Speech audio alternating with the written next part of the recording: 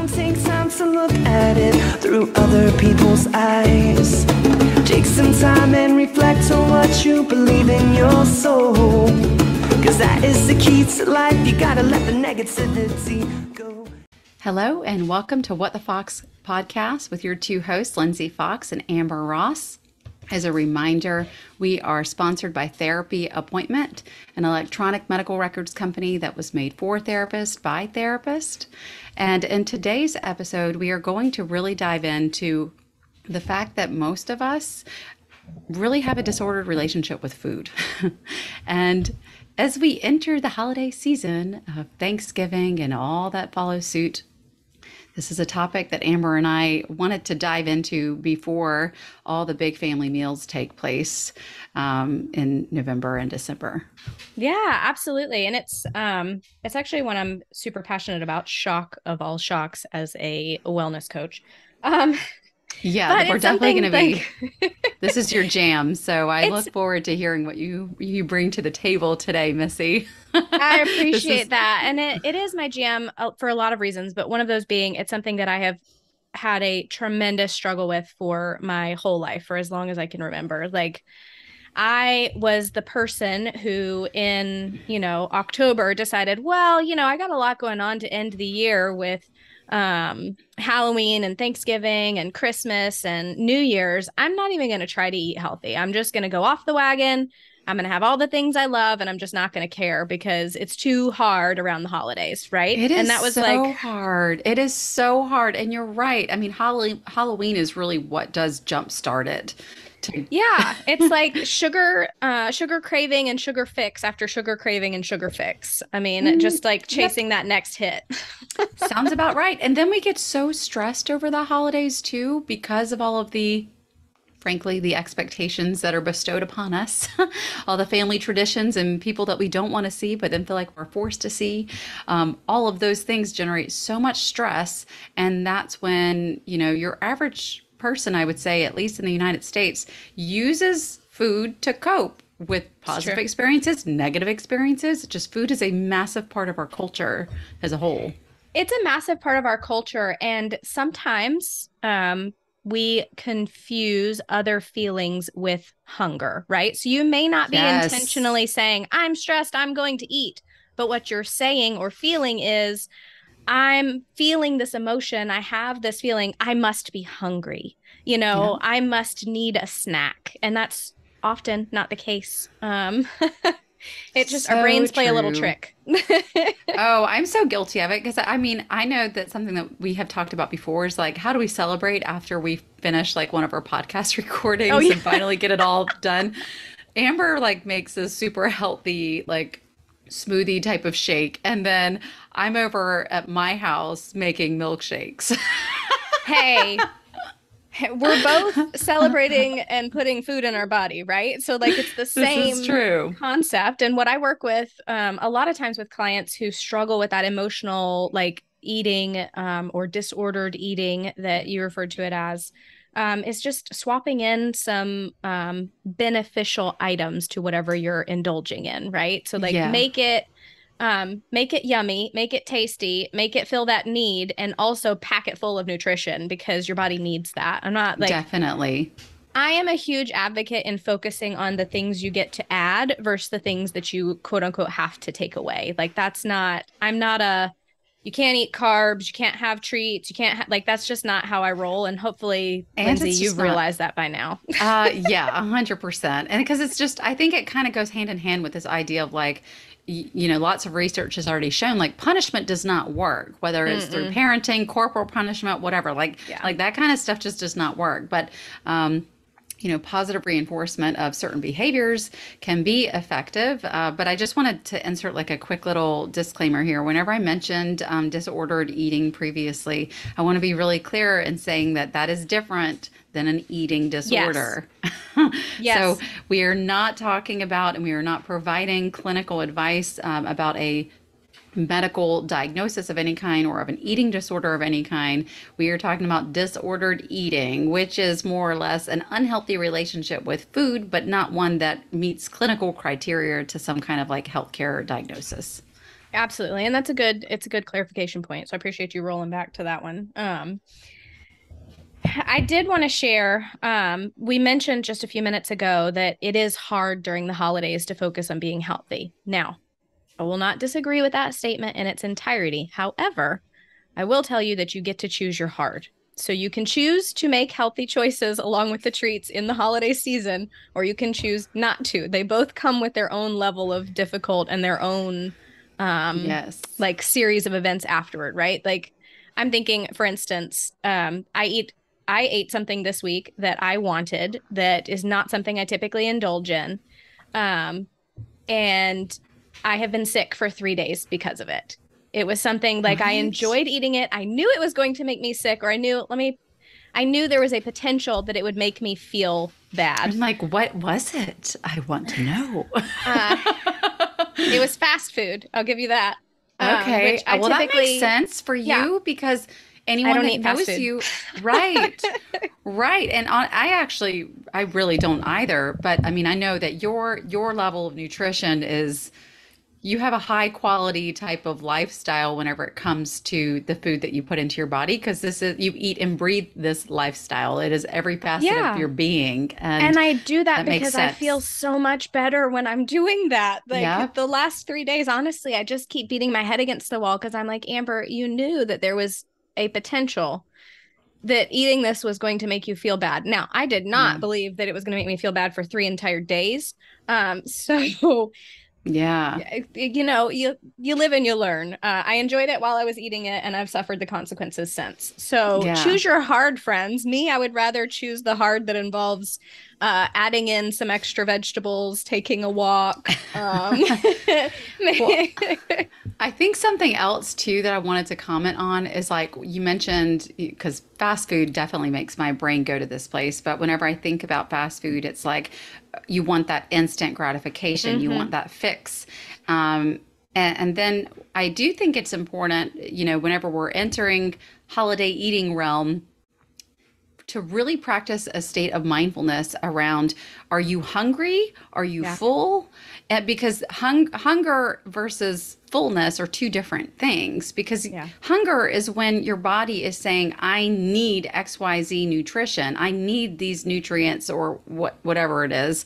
Whereas fullness is really more about you know it's it's that want versus need so i think hunger is more of that need whereas fullness um, you might be completely absent-minded about the fact that you're just munching away at a thing of popcorn or bag of chips or whatever Yeah. it is Well, and I see this happen a lot at gatherings, and it's something that I caution people on. Um, that like we have a tendency, at least in my family, to sit at the table where the food is sitting right? So like we'll we'll do a buffet style but then all of a sudden everybody's chairs are around the buffet and we're all like talking and snacking and just like grabbing stuff. And none of us are realizing that we're eating food. We're just consumed with the fact that oh it's here. It looks really good. It smells really good. I must be hungry so i must eat it. Where yeah I encourage folks like move yourself or move the food to a separate room unless you're truly hungry and you're ready to mindfully eat and like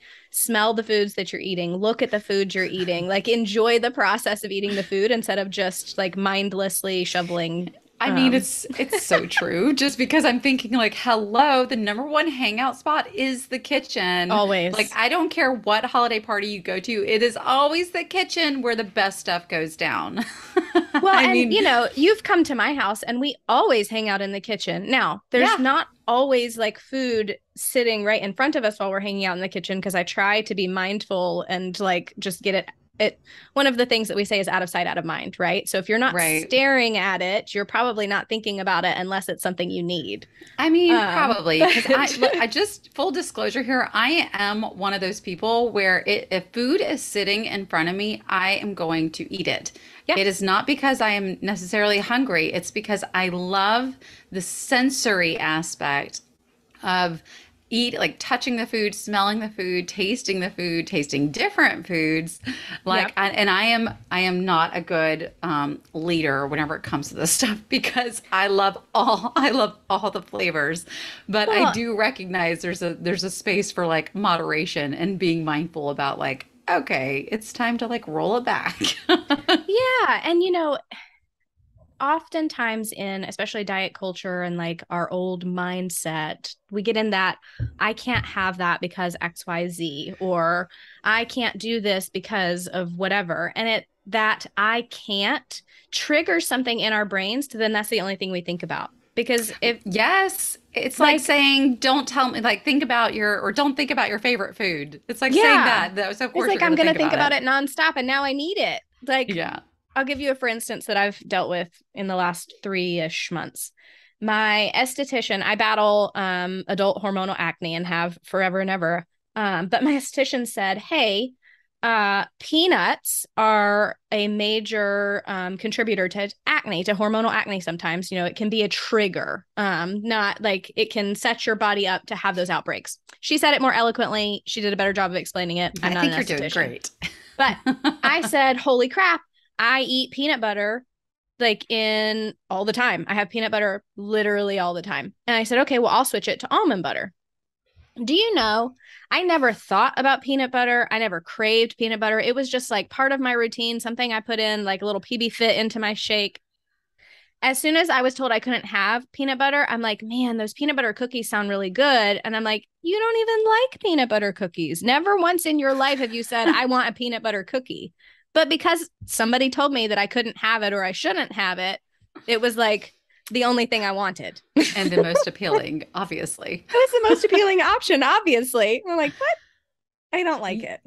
My brain. I mean, I totally hear that. I felt like that with um, I mean, very different um condition, but I have chronic Lyme disease. That's not something I've really ever disclosed or had the need to disclose on this podcast, but I was diagnosed with having Lyme in 2015 and uh, as a result of that, and just to be clear, I don't know if it's the Lyme or the medication that I was overprescribed, which is another, uh, frankly, medical horror story. But anyway, yeah. whatever the case, it completely destroyed my gut health and it changed so many things that I could consume to the point where I really, uh, there was a, a three years of my life that I really had to like dive in and explore what can I eat versus not eat without having mm-hmm. a reaction.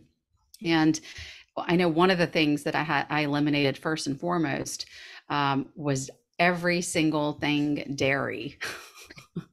That's a long list, girl. Like, and I mean, and I love, I mean, I just finished talking about milkshakes. So clearly I figured out a way to navigate the situation. But yes, you did. I mean, so my, my, I have to tell you, eliminating all dairy, all forms of, you know, I love all types of cheese, this, that, and the other. So it's like, this was so hard, hard for me. But because I was like going through this process of like a food elimination diet, yeah. Uh, FOD, FODMAPs is what it's known as, but it's not, it's really not so much of a diet as as it is a lifestyle and just figuring out what you can and cannot consume.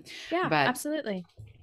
Uh, you know, so I think even the word diet, as I as I'm talking about this, it's like dieting itself generates so much stress and then stress feeds into our need to eat mm-hmm. to cope which then leads us to gain weight or have feelings of guilt and la la la and then that feeds into dieting which feeds into stress and the cycle well it's like the hamster wheel that you just can't ever escape and right. I mean, I I tell people all the time, I'm like, man, diets are so 1990. Like we don't diet anymore. we don't do that. like we are not living in the 90s anymore, much to our uh fashion Chagrin. trends dismay, right? like I see all the styles come back, but truthfully, you what mean, I you mean like what what I'm wearing right what now? you're wearing right now? Yes, you've got all the 90s, like the headband. I I love it. But I did.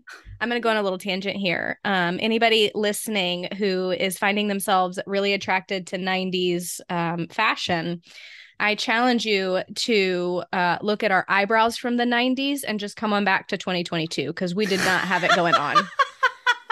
like wow. We, we really did just go down a foxhole. We went down a little foxhole because um i do like the 90s but there's some stuff that can stay back there and that's diets and the eyebrow trends because oh my they were gosh not i love it.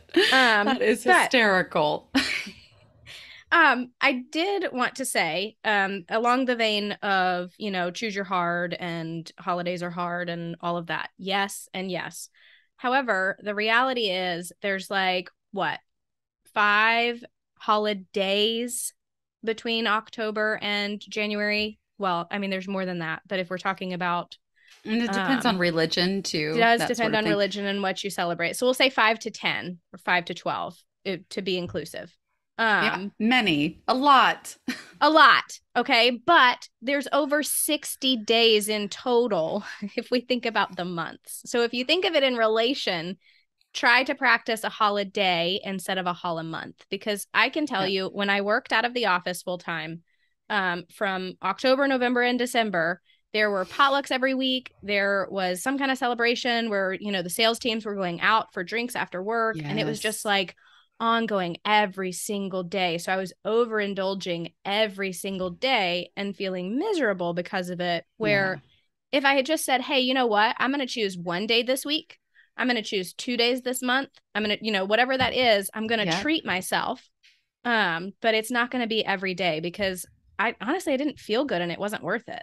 And I mean, it's not You- like from a health perspective, not a great idea. Yeah, you're you are bringing up a great point though, because with holidays and especially in the workplace, for those who are working in a, uh, I say normal, I don't even know what normal is anymore. there's 'cause no half such thing. half people work from home now, so I don't know. But you know, people who are working in an office environment or hospital setting or whatever it is where you are with your coworkers face to face, there is so much pressure to connect as a team through food or through alcohol, whatever field of work you're in or industry or after work or whatever.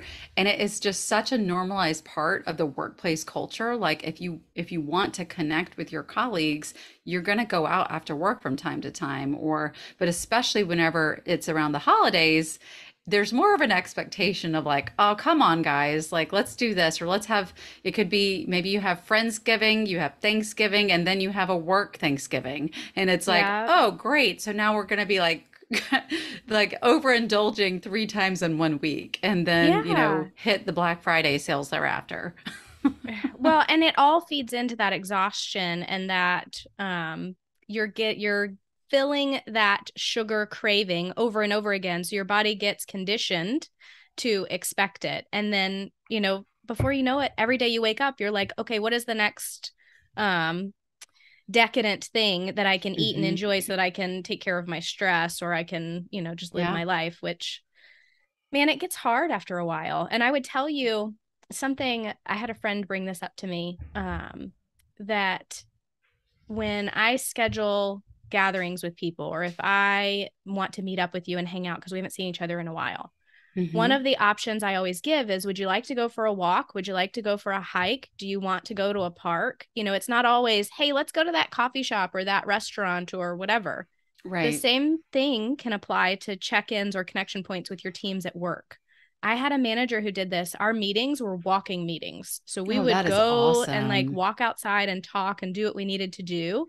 Mhm. And it like I so enjoyed that because it got me away from my desk. It got me out of a chair. I got some sunshine and some fresh air. And it was just so much I less love stressful. that.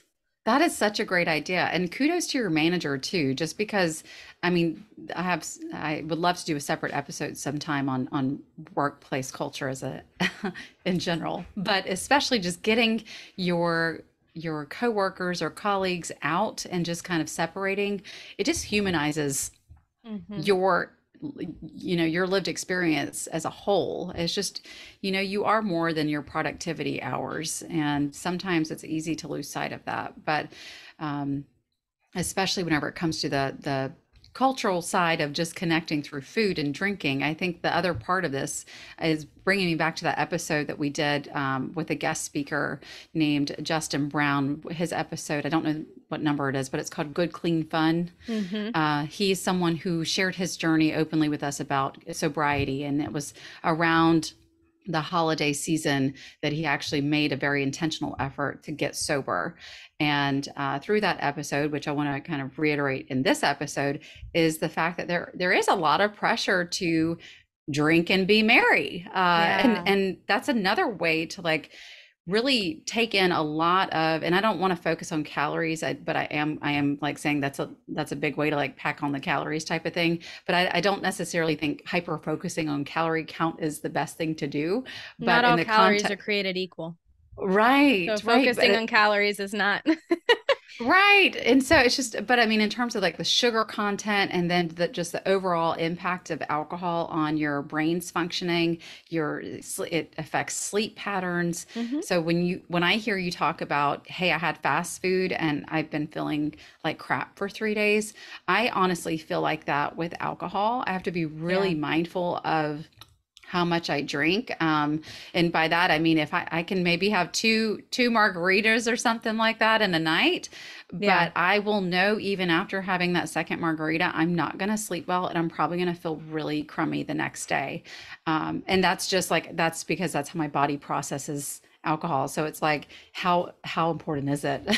Yeah. uh, on so many different fronts. But I think that around the holidays, we really dive into that as a part of like f- reducing that social anxiety, fitting in, all and, and all of those other reasons plus some, you know, Well, coping. and a lot of it is just the simple fact of you're in a group of people. If everybody's drinking and then everybody orders a second round and everybody orders a third round, like you can easily look up and go, oh, I didn't even want that, but now it's here and now I feel guilty. So I have to drink it or I have to eat it or have, and Mhm. I do want to share like, you should not feel guilted into eating anything or drinking anything or Mhm. feel bad. I know one of the, um, one of my clients shared with me that, um, people would present her with food that they had made and she would feel guilty so she would feel like she had to eat it right that minute whether she was hungry or not and it because she was being gifted with something thoughtful from someone and she didn't want to hurt their feelings right. and something we worked out together is you know say thank you accept the food. Yes i'm going to save it for later. You know i'm not hungry right now but i'll enjoy it. I appreciate that. You know put it um put it in the fridge put it in the freezer do whatever you need to with it but don't feel like in that moment someone has presented you you know grandma's got her pie in her hand and she's like eat Yeah. this now. You have to eat it. No you don't. Like you can respectfully say that looks amazing. I really appreciate it. And like take a pause Yeah. because the food pressure is real and i mean that's something i've experienced and it's it's uncomfortable and it can be hard to navigate You're so right about that. And I think this comes back to why we talk about empowered boundary setting in so many Mm. different episodes because boundaries are needed in every facet of our life, even if it is to say, you know, thank you, but no thank you, I'll pass, or I'll take water instead, or, you know, I just, I prefer to have like a hot tea and, you know, do your thing, uh, or I'll, I'll eat this later. But I think we kind of forget about that because in general, yes, that people pleasing quality of wanting to satisfy, you know, you recognize someone has a kind gesture at play and you want to reciprocate, you can reciprocate that kindness through words and boundary setting. There's nothing wrong Yeah. with that. absolutely um and it you touched on something that um i'm squirreling a little bit but it's still relevant the hot tea Okay. Yeah. so um i have found i have found um after dinner drinks seem to be a very big thing for the crowds that i run in If I Um, have- I, feel like they're they're they're a big thing for ev- anyone who consumes alcohol. Like a nightcap is definitely a thing.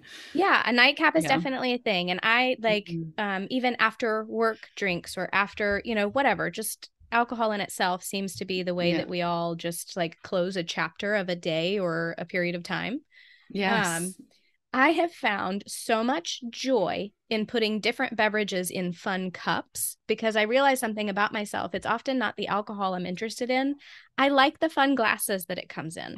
I like the decorations. I like the fanciness about it. So like I decorate random like cups of water or a cup of kombucha or you know whatever, hot tea. Um, I make it fancy and I make it pretty and I make it special because I enjoy that so much. And it's like I don't need the alcohol to be able to enjoy a cool mocktail or you know whatever Yeah, the case may be. Yeah. I Um, love that as I'm drinking my coffee out of my coffee mug. I love to love I- my my little decorated coffee mug. I know I definitely hear what you're saying and I feel it's no different than like celebrating New Year's. You know, Yep. New Year's not everyone wants to drink alcohol or has any desire to drink alcohol and it's like that's why they have like sparkling cider, but it's like it feels fun to ha- do a toast, you know, regardless of what you're drinking to say, "Hey, Yeah. happy New Year." Yeah. Put a water in a Good for um, you. In a Good little champagne you. flute and have a cool day. But I mean, it just these are little tidbits that I've picked up along the way that um, sometimes I forget that are actually relevant to other people. So Yeah, they put are. I mean, I, I love that you cup. shared that. it's so true though and i'm glad that you mention it um and then on the on the other hand whenever we're talking about like you know doing some of this stuff at the level like just mindlessly eating or mindlessly Yeah. drinking. Um i i just want to suggest that you know during the holidays try to have a level of intention of checking in with yourself before you go into these events or before Mm, you so walk in that door. Yeah just kind of checking you know doing one of your own energy checks of like how hungry am i right now um, or you know if you feel like you're one of those people who are the, gonna eat mindlessly because that's kind of your style then drink some water before you go in so that you do feel full but also having the mindfulness of like what your hunger level is. Because again hunger and fullness are very different but you just checking in with yourself around that i think is super important before you just go standing in the kitchen for three hours for appetizers before the meal's even served. Yeah. And that, so I agree with everything you just said. And that's something we're incorporating now um, more than we had before is just like regular vibe checks. Like, what's my vibe? How am I feeling? What, like, what do I need to be successful in this next step of my day? Um, but one thing I will tell you, I've seen folks do in the past, which um, is more harm, it does more harm than good. Um, I will see people say, Well, I've got this big, m- big meal for dinner. So I'm not going to eat anything all day. I'm just going to save up all of my calories for this one meal. And like, if I could tell you no more red flags, like that's all, it looks like a carnival when you tell me that. Please, Tell please, please why. don't starve. like, please don't starve yourself all day and shut your metabolism down completely and then go like have a 6,000 calorie meal. There, it's just, Why is is that bad, Amber? Teach us why this I- is bad for us. bless your heart. Well, one thing, your digestion is just going to be a mess after that. But it sets up an incredibly unhealthy relationship with food because you're just reinforcing the fact that you can only have fun if you're eating and somehow you don't deserve to eat all day. You only deserve to eat that one meal. And hmm when you were conceived slash born slash you have been brought into existence, you earned the right to eat food. You do not earn the right to eat food by any workout. You do not earn the right to eat food, you know, because it's a certain time of day or anything like that. Like if you are hungry, eat some freaking food. Put it in your face. Like just I can't I used to be that person and I can remember like counting and I would sit down and like calculate all the things so I could make sure I stayed under my calorie goal so that I didn't gain weight and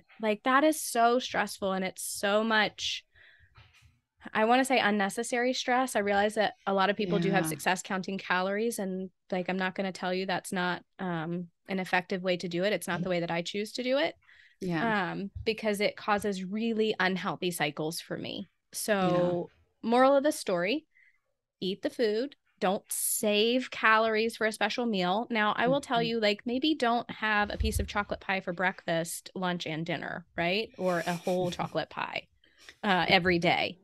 But freaking, if you want a piece of pie, have it. Yeah.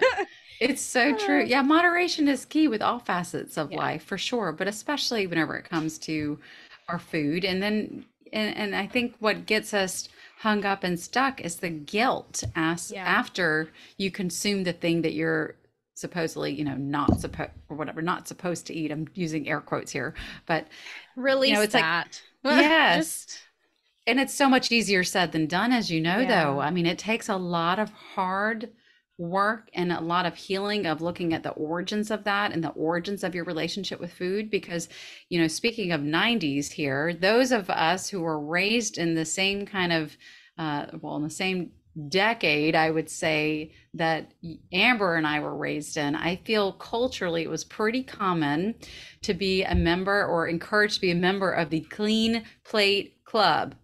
oh, yeah. You know how I feel about that. and I don't actually think that parents really, you know, I don't really feel like that's really a thing so much now, but I mm. definitely feel with our upbringing, it was more common or popular. And I don't know if it was like on a sitcom. I don't really know what made it so popular, but I definitely know that every family that I was uh, privy to meeting or a part of, uh, it was you know you sit down and eat your dinner, and you uh, one when you finish your meal, you're a part of the Clean Plate Club, but you do not leave the dinner table until you have cleaned your entire plate yeah. and that that uh, understanding of food at a young age also can breed really unhealthy um, relationship with food as you get older because then to you know your client's point that you just mentioned is like then there's this this understanding that oh if it's in front of me i have to eat it. And if i'm being gifted it i need to do it right there in that moment. Mhm. um, because we we get conditioned at a really young age that you know if you don't do it it's bad. And you know Yeah. that that sticks. Those Well, and it messages stick. teaches it does and it teaches you to stop looking for actual hunger cues and it Mhm. teaches you to just see a plate of food and decide you have to eat that plate of food whether you're hungry or not and it just yeah. The food guilt thing and dealing with the clean plate crew which are you know however you mentioned it you clean, clean plate, plate, club, club, that Yeah. one. Um my brain works sometimes. You're doing Um, great. but it's hard and it's something if you have young kids um i i do and we talk about them a lot here. We don't do clean plate club here. There are more nights um that my kids do not clean their plate and i am fine with it um around certain boundaries. They're still eating and they're still getting nutrition but um food guilt is something that a lot of us struggle with and it's something that i don't think ever really goes away completely but there's a lot of things you can do with mindfulness to think of you know why am i feeling this way? Where did this come from? What's causing it? You know is there um it's not often not about the food itself right? It's about our idea of what society's told us about that food. So doing the work to release some of that shame and guilt because um i know i've been i don't want to say i've been guilty of food guilt that sounds bizarre but yeah like it's something that I've dealt with. Like you eat something and you're like, oh, I'm so bad now. But there's no morality to food, I guess is what I'm trying to say. Yeah. Yep. And all food has some type of value to it. Yeah. Um, but it just comes down to moderation. So, with that, um, I'm not sure if there's anything else you wanted to add to, to this conversation Yeah. in that sense. I did. I actually just wanted to give kind of a few key focus areas, something that my clients and I chat about a lot during the holidays and throughout the year, um, just to set yourself up for um, a more enjoyable experience with less food guilt and less um, gastrointestinal issues. yes, please. So, yeah, less of that. Um, so it's six things. So prioritizing rest, which we talked about, Lindsey. You know, you go into it tired. When you're tired, you eat more. Yeah. Uh, when you eat more, you're more tired, and it's just that vicious cycle of Yeah. um, So adhering to like a routine, trying to go to Mhm. still trying to go to sleep around the same time, having that kind of consistency in your routine is im- important. yeah. And I say rest over sleep because for some of us, me included, Mhm. I have to have time to myself that is quiet with no one else present to recharge because I can Me too. Man, I can be in the group, I can be in the pit, I can do the things, I can look like an extrovert, but when it comes down to like really refueling myself, I'm going to need a minute by myself. Mhm. Sure. so, Yeah. sleep and just knowing how you recharge. Yeah. Um one thing we didn't really talk about was um, I tend to prioritize vegetables, especially on a day that I know that I'm going to be indulging in a meal. Um, leading up to that event, I'll make sure that I have a really good variety of delicious vegetables that I enjoy because it helps me to feel full, it helps me to have energy, and it makes sure that um, as I'm eating the things that I enjoy and as I'm indulging and treating myself, um, that I've balanced it a little bit as far as nutrients are concerned and my body's Oh, yeah. fueled. Definitely. And I know for me, something I really enjoy is making um like a smoothie in the morning. So for me, that might just be like a ton of different vegetables shoved into my I use I know some people like their ninja or magic bullet, whatever. Yeah. And just have it in there. I might use like a scoop of some kind of um booster of some kind with nutrients and that sort of thing. But it does it does just kind of kick you off and kick off your day in the right direction. But to your point, you're probably not going to get all of those nutrients at your um, holiday party or whatever Yeah. it is that you're going to. Set yourself up for success You- early. Uh, mentioned- vegetables for breakfast are extra credit in my house, and I get extra credit every day. I mean, this is that that works. Whatever works for you guys. You have vegetables with all the things, but you mentioned that there were six items. Yep. I wanted to hear your other your other items on that. So hydration, one. Hydrate. Well, we talked about two. So the rest, the veggies, hydration. So mentioning the drinking water before you walk in pair it, have it Mm. stack it with your vibe check, right? Have some water, figure out how you're feeling, and then walk into whatever the event is. Yeah, I like that. Um, the holiday for verse Hollow Week, which we covered, right? So, um, as you're mindfully going into those events, it doesn't necessarily have to be every single day that you indulge in all the things. Um, it's, it's really easy to use that as an excuse, though, Amber.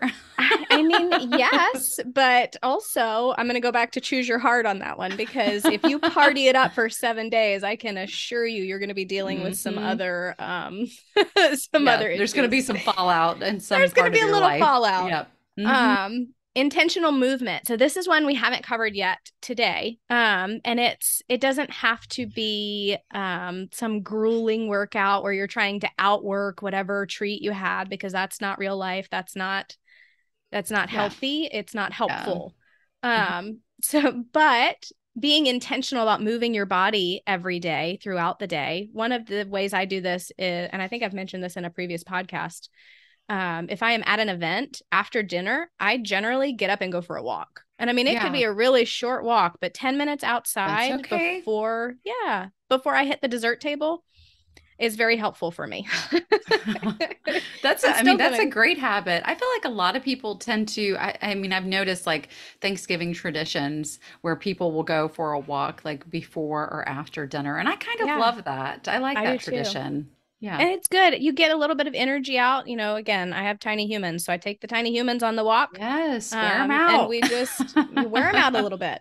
Um, Yeah, and then the love it. last one, uh, and I've said it throughout this episode, and I hope you hear me say it more often, um, is to treat, not cheat. I hear people say, "Oh, it's my cheat meal. Oh, it's my cheat day. Oh, it's my cheat season." Like whatever. We're not going to view eating as cheating. Like you can treat yourself, you can enjoy the indulgence, um, but setting your putting that thought in your brain that you're cheating by doing something you enjoy just Yeah. it furthers the cycle of unhealthy food relationships I definitely agree with that. We always talk about the role of internal dialogue, and you're so right. Our words matter. Our Mm-hmm. words matter and how we're communicating them to ourselves. It, you're right. Saying I'm cheating, which I, to be honest, I've never said that, but I've also, I've never said that I'm, I'm, I'm cheating. I'm having a cheat day, but I, I think it's because I, I have, I have cheat days every day. you I just have a very different I treat approach myself. to food you I treat myself. I treat myself on the daily. but hey i do too i mean Yeah. i'm not gonna lie there is a treat every day it just looks different every day Yeah, Um, and that's okay. yeah i mean i don't think we're not here to be punishing ourselves with food you know No or way. withholding food or Life is stressful not- enough. Screw that. Yes amen claps all of the things Oh my gosh, Lindsey, this was fun. I appreciate this topic. I'm glad that we're able to share this, especially in the holiday season. Hopefully, the folks listening um, gleaned some helpful tidbits or ideas, or just you know that extra little piece of encouragement. You can do this. You can thrive through the holiday season. You can have um, health goals during the holiday season, and they can look um, well balanced. It doesn't have to be what what we did in the 90s, right? That's right. And you don't have to wait until New Year's Negative. to to say, "Hey, now I'm going to get my diet on the right track." It's like this it's more of a lifestyle and it is, so yes. and and if you go into it with like, "Oh, I'm just going to diet," it's again, as we mentioned previously, it's just going to feed into that stress cycle within which then just feeds into more of that emotional eating and so forth and so forth. So let's get off the and it- hamster wheel now before the holidays and I agree. take a There's new never going to be a perfect time. There's never going to be a perfect day. Next Monday is no better or worse than today. So definitely, please don't wait till January to make healthy changes or healthy choices. Um, and stop looking at it as cheats because that's just not it. it's true. Treat yourself every day. Treat Treat yourself. yourself every day. just have I moderation, that's all. Yes. All right, guys and dolls, thank you so much for tuning in to another episode of What the Fox podcast, and we will see you next Tuesday. See you next Tuesday. And we all sing, everything is gonna be just fine. It's gonna fall into place. The sun is gonna set on your terrible day.